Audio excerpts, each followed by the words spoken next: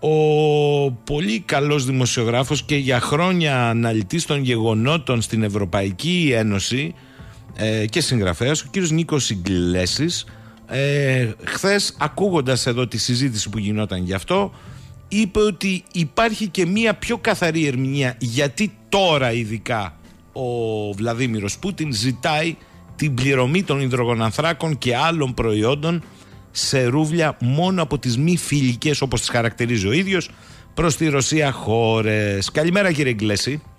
Καλημέρα κύριε Σαχίνη. Πείτε μου λοιπόν τεχνικά εσείς τι καταλαβαίνετε, διότι για να σας πω την αλήθεια, επιτρέψτε μου γιατί το βλέπω και από πολλούς ακροατές. Τη μία ο Πούτιν θα εφαρμόσει αυτό, την άλλη όχι δεν θα το εφαρμόσει. Την τρίτη χθες το απόγευμα μάθαμε ότι θα το εφαρμόσει με την Gazprom Bank να καταθέτει για παράδειγμα η Γερμανία σε ευρώ σε ένα λογαριασμό καπατάδε από αυτό το λογαριασμό να παίρνει η Gazprom Bank να αγοράζει ρούβλια από την κεντρική τράπεζα να τα βάζει στο λογαριασμό να τα στέλνουν στην κεντρική τράπεζα. Εδώ πέρα από το τεχνικό καταλαβαίνω εγώ, εγώ τουλάχιστον, ότι κάτι άλλο είναι συμβολικό, είναι περισσότερο.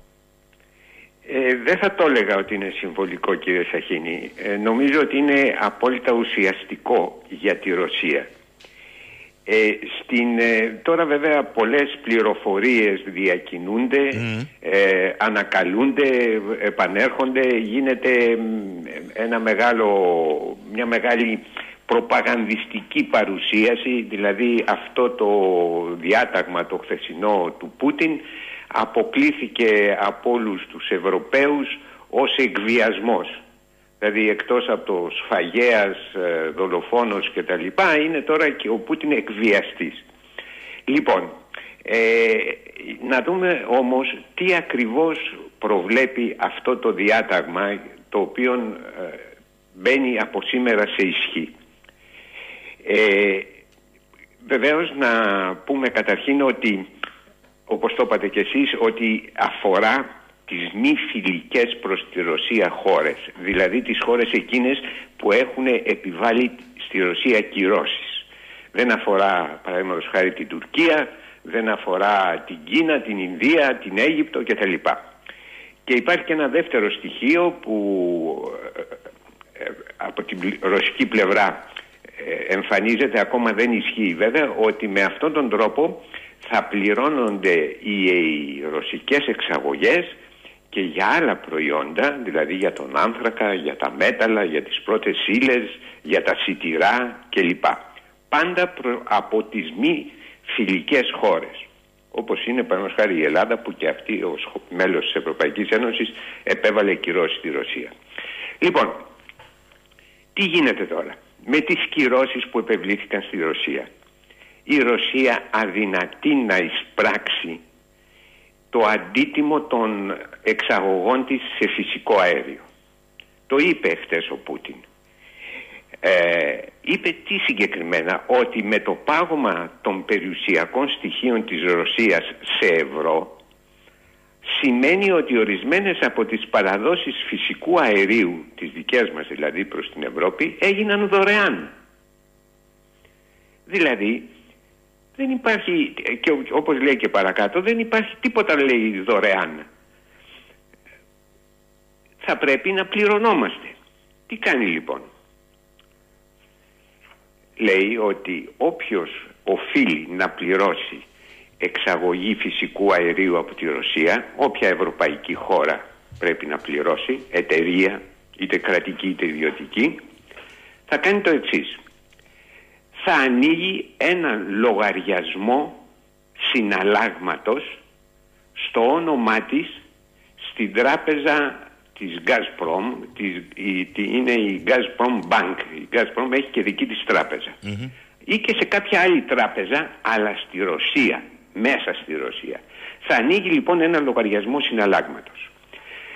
Και αυτό που οφείλει να πληρώσει θα το στέλνει σε αυτό το λογαριασμό στη Ρωσία, στη, Ρωσία, στη τράπεζα της Gazprom. Σε συνάλλαγμα θα το στέλνει.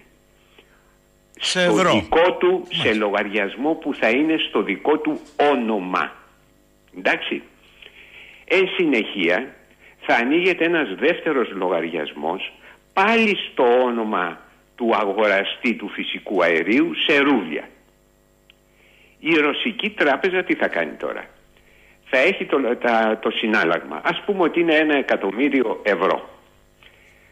Αυτό το, το ένα εκατομμύριο ευρώ πρέπει να το μετατρέψει σε ρούβλια.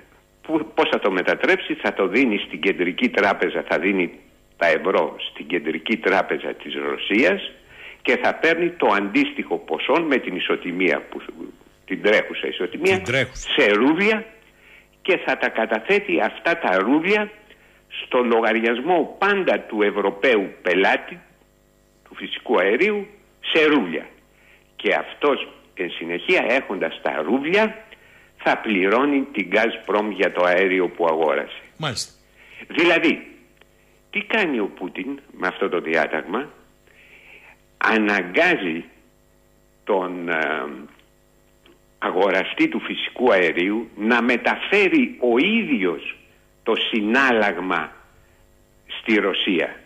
Ούτως ώστε γιατί μέχρι σήμερα τι γινότανε; Έκανε ε, ε, ένα έμβασμα ο Ευρωπαίος αγοραστής προς τη Ρωσία αλλά επειδή αυτό το έμβασμα πέρναγε από την κεντρική τράπεζα της κάθε χώρας αυτό το έμβασμα μπορούσε να παγώσει να παγώσει λόγω των κυρώσεων. Και άρα είχε πληρώσει το φυσικό αέριο αλλά τα λεφτά, το συνάλλαγμα δεν πήγαιναν στη Ρωσία έμεναν παγωμένα στις ευρωπαϊκές κεντρικές τράπεζες Άρα κάνει ένα bypass κυρώσεις ουσιαστικά; Ουσιαστικά προσπαθεί επιχειρεί με αυτόν τον τρόπο ναι. να ε, ακυρώσει τις κυρώσεις που έχουν επιβληθεί στην κεντρική τράπεζα της Ρωσίας. Α, μάλιστα.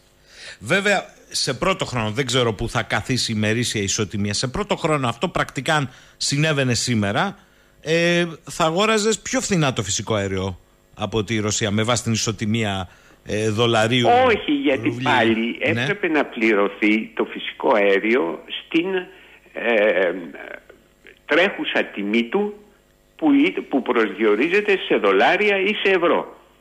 Στην τρέχουσα τιμή. Η Ρωσία δεν χάνει από αυτό. Ούτε ο αγοραστής. Θα πληρώνανε σε δολάρια ή σε ευρώ την αξία του φυσικού αερίου. Αλλά αυτά τα δολάρια ή ευρώ που πληρώνανε δεν φτάνανε στην κεντρική τράπεζα της Ρωσίας λόγω των κυρώσεων. Μάλιστα. Άρα βρίσκει βρίσκει, επιχειρεί να βρει έναν τρόπο να φτάσουν ως ρούβλια πια. Σωστά; Όχι, να φτάσουν ως συνάλλαγμα. Η Ρωσία δεν το χάνει το συνάλλαγμα. Α, να πάνε θέλει στην, να στην κεντρική... εξασφαλίσει ότι το συνάλλαγμα το οποίο αντιστοιχεί στην, ε, στην ποσότητα του φυσικού αερίου που πουλάει θα φτάσει στην κεντρική της τράπεζα και δεν θα παγώσει λόγω των κυρώσεων σε κάποια στη γερμανική κεντρική τράπεζα ή στην ελληνική από τη ΔΕΠΑ που αγοράζει κτλ. Ουσιαστικά ακυρώνει τις κυρώσεις. Γι' αυτό και εξεγέρθηκαν οι Ευρωπαίοι και είπαν ότι αυτό το πράγμα είναι ένας εκβιασμός και, αλλά ο Πούτιν στο, στις χριστινές του δηλώσεις είπε ότι αν δεν πληρώσουν με αυτόν τον τρόπο για να εξασφαλίσω εγώ το συνάλλαγμα αν δεν πληρώσουν με αυτόν τον τρόπο θα διακοπούν τα συμβόλαια. Αυτό... Δηλαδή ναι, ναι. θα κλείσουν οι στρόφικες, ε, τις στρόφικες της παροχής φυσικού αερίου. Πόσο αποφασ... ε, αποφασιστικό είναι αυτό, άλλο να το λες και άλλο να το πράττεις. Η εκτίμησή σας θέλω και με αυτό θέλω να κλείσουμε. Μπορεί να το κάνει; Ε, είναι υποχρεωμένος να το κάνει γιατί αλλιώς θα πουλάει το φυσικό αέριο και δεν θα εισπράττει συνάλλαγμα, δεν θα εισπράττει τίποτα. Θα το δίνει δωρεάν αν δεν το κάνει. Γι' αυτό δύο εναλλακτικές υπάρχουν. Ή οι Ευρωπαίοι θα κάνουν γαργάρα αυτό το πράγμα και θα το αποδεχτούν τελικά ή θα κλείσουν οι στρόφικες κύριε Σαχίνη. Δεν μπορεί η Ρωσία να εξάγει φυσικό αέριο και να μην πληρώνεται. Μάλιστα. Λοιπόν, το κρατώ γιατί την άλλη εβδομάδα θα το συζητήσουμε μαζί σας αναλυτικά εφόσον το δούμε στην πράξη. Να δούμε τι θα γίνει. Γιατί από χθες το βράδυ υπάρχουν ε, διαβουλεύσεις.